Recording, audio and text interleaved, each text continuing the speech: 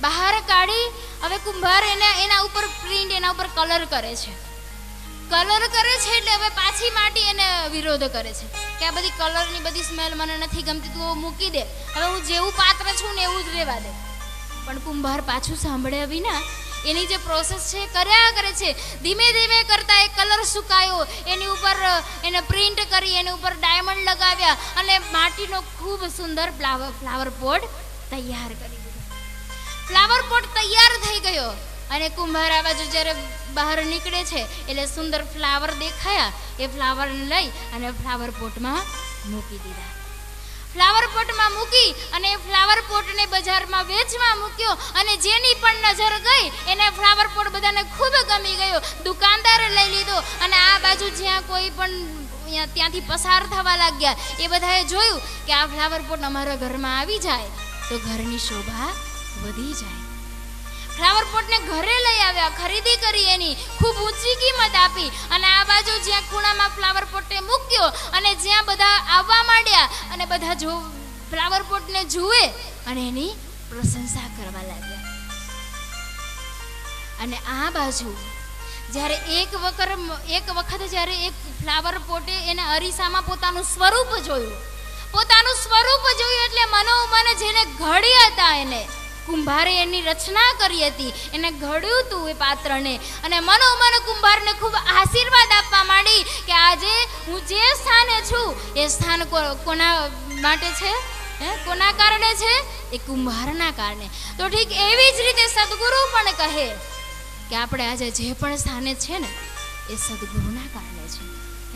એ ગુરુના કારણે છે અને એટલા માટે પરમ પૂજ્ય ગુરુદેવ કહે કે આપણને જ્યાં ઘડવા માટે કોઈ પણ આપણને તૈયાર થાય ને, તો ઘડવા માટે તૈયાર થઈ જાઓ. ઘડાવવા માટે તૈયાર થઈ જાઓ. પછી એના માટે મનમાં એવું ન વિચારશો કે આ મને નથી ગમતું, આ મને ન ફાવે, આ મારા માટે ન હોય.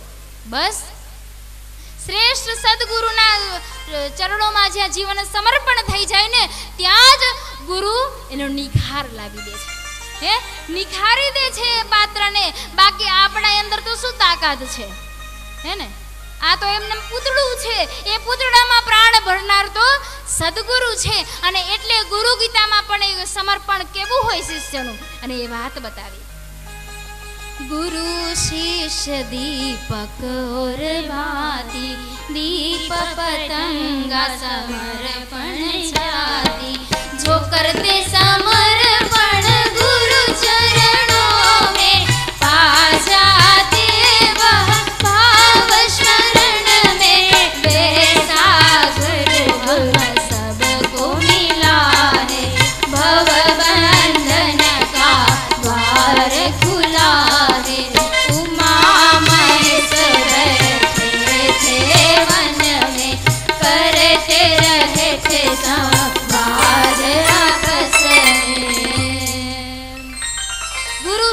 દીપક ઓર બાતી, દીપ પતંગા સમર્પણ જાતી. હે ને? જેવી રીતે દીપકના પ્રકાશથી નાનો સરખો દીપ જ્યારે ઘરમાં લાઈટ જાય, તો આપણને અનુભવ છે કે દીપક જલતો હોય, તેની આસપાસ કેટલા બધા નાના નાના જીવજંતુ આવી જાય.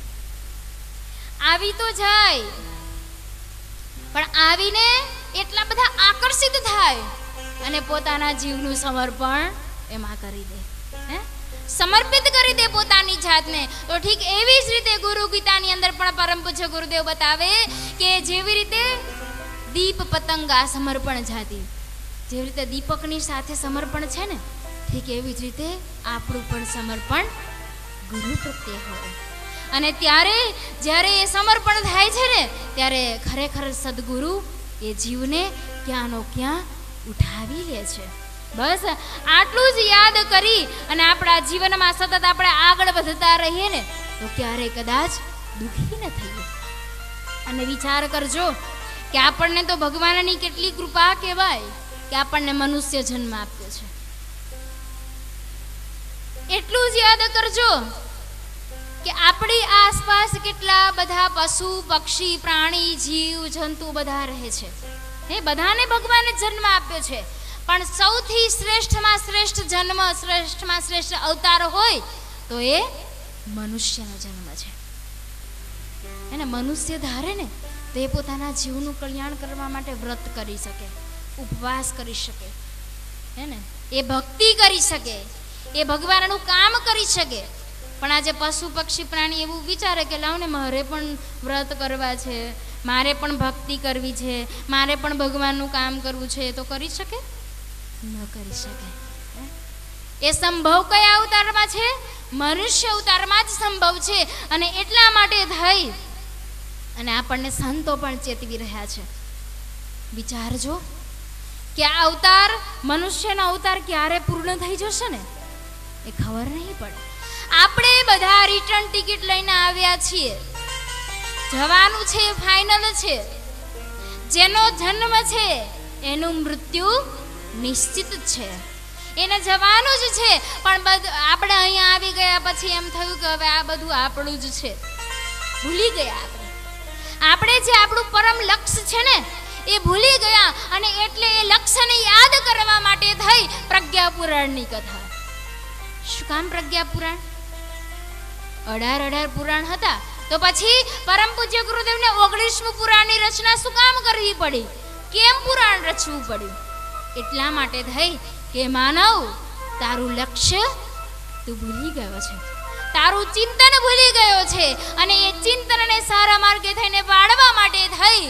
પોતાનું લક્ષ્યને યાદ કરાવવા માટે થઈ અને પરમ પૂજ્ય ગુરુદેવે પ્રજ્ઞા રચના કરી.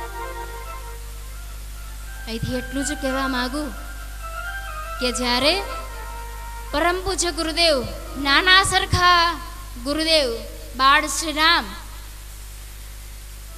જ્યારે ઘણા બધા વિદ્યાર્થીઓ એક વર્ગમાં ભણતા હોય છે, વર્ગ શિક્ષક એક પછી એક બધા વિદ્યાર્થીઓને પૂછે છે કે, બેટા, તું ભણવા આવે છે ને? તો આગળ જતા તારે શું બનવું છે? એક પછી એક વિદ્યાર્થીઓ બધા કહેવા લાગે કે, મારે તો ડૉક્ટર બનવું છે, મારે તો એન્જિનિયર બનવું છે. કારણ કે નાનું બાળક તો જેને જુએ એને એવું થાય કે, આ તો બધું બહુ સારું કહેવાય, મારું તો આ બની જવું છે. એટલે વારાફરતી બધા કહેવા માંડ્યા કે મારે તો શિક્ષક બનવું છે, એન્જિનિયર બનવું છે, પાયલટ બનવું છે. અને વારાફરતી બધા કહેવા લાગ્યા અને શિક્ષક સાંભળતા ગયા અને આ બાજુ વર્ગ શિક્ષકનું ધ્યાન ગયું કે એક વિદ્યાર્થી એમણે બેઠો છે. એ વિદ્યાર્થી ઊભો નથી થયો. એટલે વર્ગ શિક્ષકે એની પાસે જઈને પૂછ્યું કે બેટા, ઊભો થા, તારે કાંઈ બનવું નથી? એટલે બાળકનો જવાબ સાંભળજો. બાળકે કહ્યું કે, હા, ગુરુદેવ, મારે બનવું તો છે, પણ અત્યાર સુધી હું જોઉં છું કે કોઈ પણ વ્યક્તિ એમ કહે કે, તમે આટલું કરો, આટલા વ્રત કરો, તો તમને સ્વર્ગમાં સ્થાન મળશે. તમે આટલા ઉપવાસ કરો, તો તમને સ્વર્ગમાં સ્થાન મળશે. તમે આટલું ચાલીને તમે પદયાત્રા કરો અને તમે આટલી પૂનમો ભરો તો તમને સ્વર્ગ, સ્વર્ગમાં સ્થાન મળશે. પણ એ નાના સરખા બાળકે કહ્યું કે, ગુરુદેવ, હું તો એટલે જ ઈચ્છા કરું છું કે કદાચ આ ભૌતિક સંસારની અંદર બીજું કાંઈ ન બની શકાય ને તો ચાલશે. પણ મારું સ્વપ્ન એવું છે કે દરેક માનવની અંદર દેવત્વનો ઉદય કરી અને સ્વર્ગને ધરતી ઉપર લાવી દો સ્વર્ગને ધરતી ઉપર લાવી દો અને ત્યારે પરમ પૂજ્ય ગુરુદેવે કહ્યું જે સ્વપ્નને સાકાર કરવા માટે થઈ.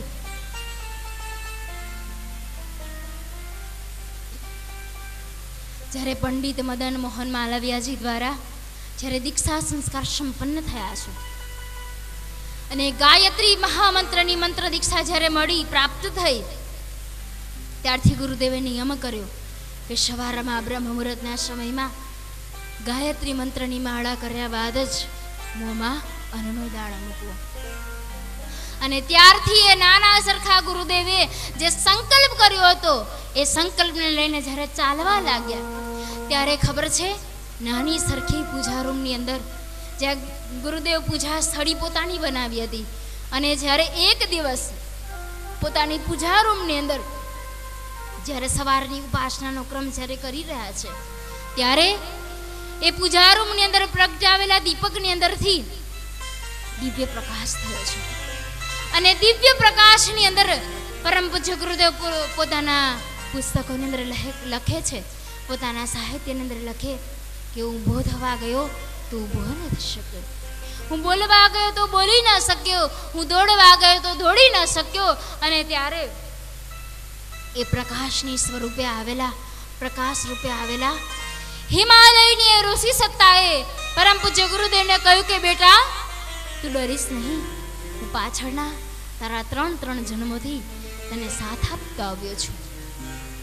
અને તારો ચોથો જન્મ પંડિત શ્રીરામ શર્મા આચાર્યજી તરીકેનો આ ચોથા જન્મની અંદર પણ હું તને માર્ગદર્શન આપવા માટે આવ્યો છું. વિચાર કરજો કે આપણે કોઈ ગુરુને શોધવા હોય ને, તો આપણે દ્વાર દ્વારે ભટકવું પડે છે. હે? આપણે બધાને પૂછવું પડે છે કે કોઈ સારા ગુરુ હોય ને તો અમારે મંત્ર દીક્ષા લેવી છે. અમારે માળા ધારણ કરવી છે. અમારે કંઠી ધારણ કરવી છે. આપણે એ દ્વાર દ્વાર ભટકતા ફરીએ છીએ, પણ વિચાર કરજો કે પરમ પૂજ્ય ગુરુદેવની એવી તો કેવી પાત્રતાને વિકસિત કરી હશે કે હિમાલયની ઋષિ સત્તાએ પોતાનું સ્થાન છોડી, પોતાનું દરેક તપને, સાધનને છોડી અને પરમ પૂજ્ય ગુરુદેવને સામે ચાલી અને દર્શન આપવા માટે અને પરમ પૂજ્ય ગુરુદેવ એ તો કહે કે બેટા પાત્રતાને પહેલા વિકસિત કરે પાત્રતા જ્યાં વિકસિત થયેલી હશે ને, ત્યાં ગુરુદેવમાં ગાયત્રી આપણને અનુદાન, વરદાન આપવા માટે તૈયાર છે. તૈયાર છે અને પરમ પૂજ્ય ગુરુદેવને એટલા માટે તો દર્દ છે. ગુરુદેવે સૂત્ર આપ્યા છે ને આપણને, હમ બદલેંગે યુ બદલેગા. બેટા સ્વયં પહેલા પોતાની સાધના કરવી પડશે, સ્વયંને સાધવું પડશે, સ્વયંના જીવનને પ્રકાશિત કરવા માટે થઈ સ્વયંની સાધના કરવી પડશે. અને એટલે પરમ પૂજ્ય ગુરુદેવ આપણને નારા આપ્યા છે. હે ને? અને એમાંય કોઈ પણ સૂત્ર આપણને હોય છે ને, તો એ સૂત્ર ખાલી આપણને સૂત્ર માટે નથી, એને જીવનમાં ઉતારવા માટેના છે. ગુરુદેવે કહ્યું કે હમ બદલેંગે યુગ બદલેગા હમ સુધરેંગે યુગ સુધરેગા બેટા તું બદલાઈ જશ ને તો આ સમગ્ર યુગ બદલાવા તૈયાર જ છે અને એટલે ગુરુદેવને દર્દ છે સ્વયંના જીવનને બદલો બદલાવ લાવો અને આજે ગુરુદેવ એ જ કહે કે કેટલા ઘર ઘર સુધી કેટલા યજ્ઞ કરાવ્યા કેટલા દીપ યજ્ઞ કરાવ્યા મહત્વનું નથી. કેટલી કથા કરી, મહત્વ નથી, પણ પોતાના જીવનમાં સ્વયંના જીવનને કેટલો બદલાવ લાવ્યો. તમે સામેના વ્યક્તિ પાસે જાઓ છો, તો એ એના જીવનમાં કેટલો બદલાવ લાવ્યો? એ મહત્વનું છે. અને જ્યારે દાદા ગુરુદેવે ગુરુદેવને કહ્યું કે, બેટા, આ ચોથા જન્મ તારો પંડિત શ્રીરામ શર્મા આચાર્યજી તરીકેના જન્મની અંદર પણ તારે ઘણા બધા કામ કરવાના તારે યુગ નિર્માણનું કામ કરવાનું છે. હવે વિચાર કરો કે નાનું સરખું બાળક કેવી રીતે સમજી શકે કે યુગ નિર્માણ એટલે શું? અને યુગ નિર્માણ શબ્દ સાંભળવાનો કદાચ સહેલો લાગે. પણ યુગ નિર્માણ એટલે શું? પરિવારનું આપણા એક પરિવારની વ્યક્તિને બદલવી હોય ને, તો પણ કદાચ આખી જિંદગી નીકળી જાય. પરિવારના એક વ્યક્તિના સ્વભાવમાં પણ પરિવર્તન લાવવું હોય ને, તો એટલું બધું કઠિન પડે છે. પણ દાદા ગુરુદેવ એવું કહ્યું કે બેટા, તારે યુગનું નિર્માણ કરવાનું છે. એક પરિવાર નહીં, એક ગામ નહીં, એક શહેર નહીં, એક રાષ્ટ્ર નહીં, એક કે બે કે ત્રણ દેશ નહીં, પણ આખા યુગનું નિર્માણ. સમગ્ર યુગના લોકોનું નિર્માણ કરવાનું છે અને એ યુગ નિર્માણ કરવા માટે થઈ અને પરમ પૂજ્ય ગુરુદેવને પહેલા સાધના આપી. સાધના શેના માટે કરવાની? ઘણા બધા વ્યક્તિઓ ક્યારેક બહાર જવાનું થાય ને, તો ઘણા બધા મળે ને, તો એવું કહે કે અમે સવારની સાધનામાં અમે નથી માનતા. અમે સવારની સાધના શું કામ કરવાની? ગુરુદેવે તો આપણને કહ્યું છે કે કામ કરો તમે. એટલે અમે ગુરુદેવનું કામ કરીએ છીએ. હા, ચોક્કસ. ગુરુદેવનું કામ કરીએ છીએ, પણ ગુરુદેવે આત્મકલ્યાણ માટે થઈ અને સાધના આપી. અને બીજી વાત કે એકલું આપણે કદાચ કામ કરીશું ને ગુરુદેવનું, તો ક્યારેક ને ક્યારેક આપણને અભિમાન આવશે. ક્યારેક એમ થઈ જશે કે આ કામ અમે કરીએ છીએ. પણ એની સાથે જો સાધના જોડાયેલી હશે ગુરુદેવના કાર્યની સાથે સાધના હશે. ગુરુદેવના મંત્રની સાધના હશે. મંત્રનું અનુષ્ઠાન હશે. મંત્રના જપ હશે ને? તો કદાચ અભિમાન નહીં આવે. ગુરુદેવ નહીં લાવવા દે. અને એટલા માટે સાધના. દાદા ગુરુદેવે પરમ પૂજ્ય ગુરુદેવને કહ્યું કે બેટા, તારે ચોવીસ વર્ષના ચોવીસ મહાપુરુષ ચરણની સાધના કેવી સાધના બતાવી? ગાયને જવું ખવડાવવામાં આવે. એ જવ જ્યારે ગાયના ગોબરમાં નીકળે, એને ધોઈ, સૂકવી, જાતે દળી અને એમાંથી એક રોટલી બનાવવાની. ગાય જો દૂધ આપતી હોય, તો એક ગ્લાસ મોડી છાશ અને જો ગાય દૂધ ન આપતી હોય, તો પાણીના ઘૂંટડાની સાથે ગુરુદેવ રોટલીના ટુકડા ઉતારતા. વિચાર કરજો કે ગુરુદેવની ઉંમર કેટલી હતી? ખાવા પીવાની ઉંમર હતી, હે પંદર કે સોળ વર્ષનું બાળક આપણા ઘરમાં હોય અને જો ખાતું ન હોય, તો એની પાછળ એની માં કેટલી બધી પાછળ ફર્યા કરે, હે? એ બાળકને ખવડાવવા માટે થઈ, એને કેટલું બધું એની પાછળ ફર્યા કરે, એને કેટલું બધું સમજાવે. અને આજે જ્યારે પરમ પૂજ્ય ગુરુદેવે સાધના કરી હશે, ત્યારે એની મા ઉપર શું વીતી હશે? વિચાર કરજો કે આપણા સૌના કલ્યાણ માટે થઈને આપણા રાષ્ટ્રના અનેક સંતો, આપણા રાષ્ટ્રના અનેક ઋષિ મુનિઓ આપણા કલ્યાણ માટે થઈ અને તપ્યા છે. અને એ તપ્યા છે ને, ત્યારે આપણને કંઈક મળ્યું છે. અને જ્યારે ગુરુદેવ દાદા ગુરુદેવે આ સાધનાની સાથે કેવી સાધના પાછી? કેટલા વર્ષની? કોઈ એક કે બે દિવસની સાધના નથી? કોઈ પાંચ કે છ મહિનાની સાધના નથી? કોઈ પાંચ કે છ વર્ષની સાધના નથી? પરંતુ ચોવીસ ચોવીસ વર્ષની સાધના બતાવી હતી. અને આપણે તો ઉપવાસ કરીએ ને. આપણે તો વ્રત કરીએ ને, તો આપણી પાસે તો કેટલા બધા ઓપ્શન હોય. હે ને? અને અત્યારે તો ખબર નહીં. એટલું બધું નીકળ્યું છે. હે, ઉપવાસમાં પાછું મીઠું કેવું તો કે ફરાળી? ખાઈ શકાય ઉપવાસમાં, ચાલે. હે? આપણે તો કેટલા બધા ઓપ્શન છે. પણ દાદા ગુરુદેવે તો એવી સાધના બતાવી અને એ સાધનાની પ્રખરતાની પાછળ ઘણો બધો મોટો ઉદ્દેશ્ય હતો. દાદા ગુરુદેવે અનેક ખાલી સાધના જ નથી બતાવી. એની સાથે સાથે ઘણા બધા યુગ નિર્માણ માટેના ઘણા બધા કામો સોંપ્યા. જ્યારે આપણો દેશ આઝાદ નતો થયો અને સ્વતંત્રતા આંદોલન વખતે આપણા રાષ્ટ્રપિતા મહાત્મા ગાંધીજી સાથે અનેક આપણા રાષ્ટ્રના દેશભક્ત સાથે પરમ પૂજ્ય ગુરુદેવે કાર્ય કર્યું છે.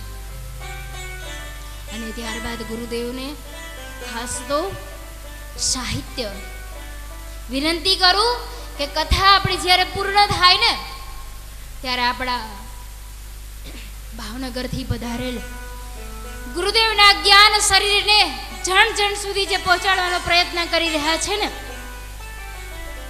આપણે સમક્ષ પુસ્તક મેળો લઈને આવ્યા છે. બ્રહ્મભોજ અડધી કિંમતનું સાહિત્ય છે.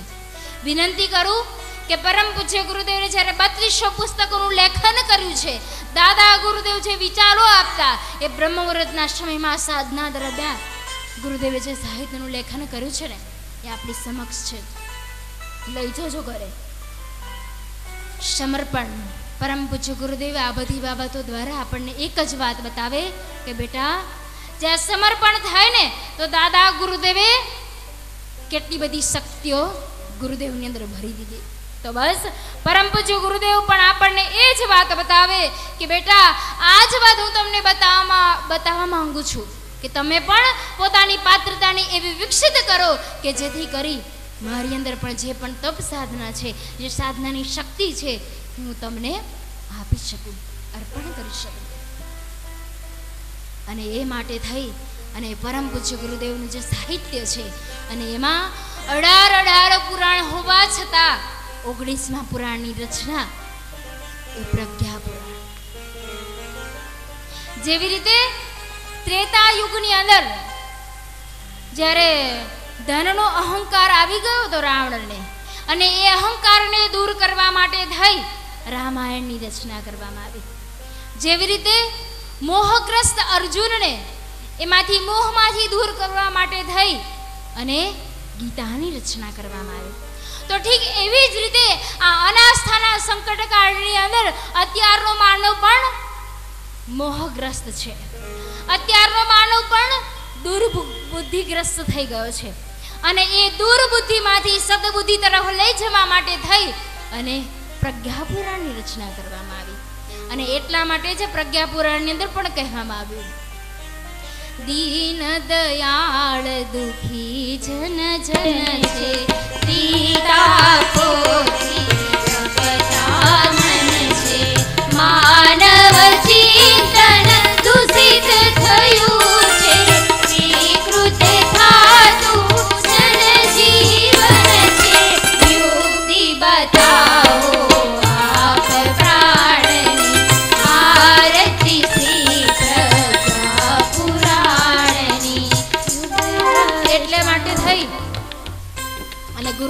કે દીન દયાળ દુખી જન જન છે. હે ને? અત્યારનું દરેક માનવ દુખી છે. હે ને? આજે બધાની પાસે ભૌતિક સંપત્તિ તો ખૂબ છે. હે ને? સાધન સંપત્તિ બધાની પાસે છે. પણ આજે એક એક વ્યક્તિ ક્યાંક ને ક્યાંક કોઈના ઘરમાં કંઈક દુઃખ છે.